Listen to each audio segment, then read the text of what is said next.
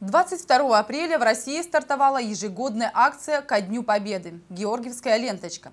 За годы существования она давно уже стала любимой и общенародной.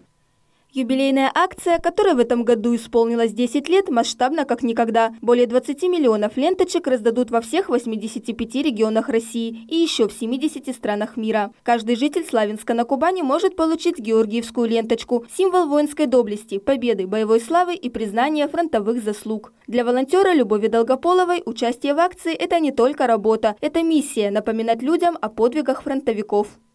70 лет – это знаменательная дата, поэтому нужно, ну, как бы, чем больше, тем лучше э, ну, раздавать ленты, помнить об этом. 9 мая, праздник День Победы, никогда не нужно забывать, потому что ну, это в первую очередь честь, память.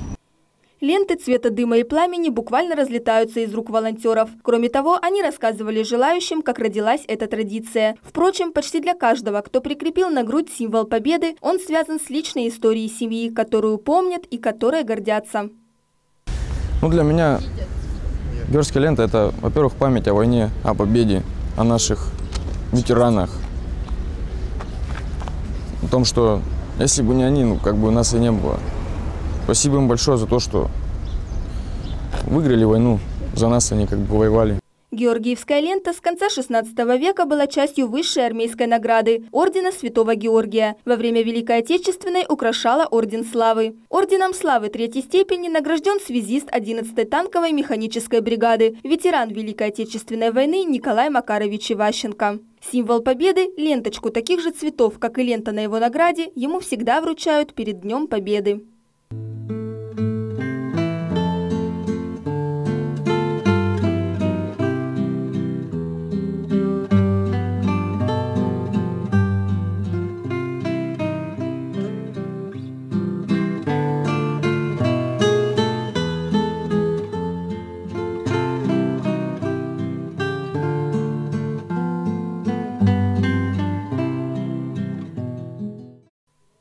Первого мая в Славянске на Кубани состоится торжественное открытие гражданской акции «Георгиевская лента». Всего их будет вручено нашим жителям более 15 тысяч штук. Призываем вас стать активными участниками акции, отдать дань уважения нашим ветеранам. И пусть в наши дни улицы нашего города, станиц, хуторов, сел пестрят тысячами георгиевских лент. Пусть этот символ славы войдет в каждый дом. Пусть внуки и правнуки героев Великой Отечественной войны ощутят свою причастность к победе и гордость за нашу Родину. Мы помним ваш подвиг, солдаты Победы. Мы гордимся вами.